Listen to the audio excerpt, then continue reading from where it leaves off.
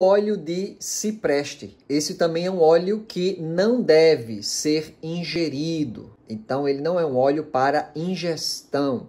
Então, você deve usar ele apenas aromaticamente ou topicamente. Então, é muito usado para quem tem problemas de circulação, uma circulação ruim. Se você tem fluxo insuficiente de urina, edema, toxemia, insurese, incontinência. É um óleo também, olha aí, que serve para celulite, serve para qualquer luxo, problemas na próstata, pâncreas e ovário, ok? Então você pode estar fazendo massagem sobre essas áreas com um pouco desse óleo, que o óleo de cipreste do terra.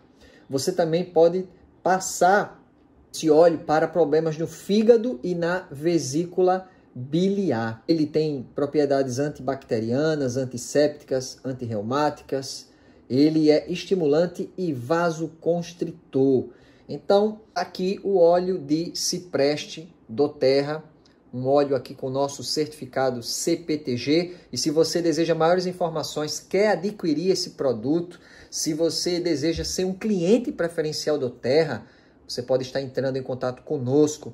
Faça sua pergunta, porque o nosso desejo é te ensinar a cuidar da sua saúde e da saúde da sua família. Óleo de cipreste do terra.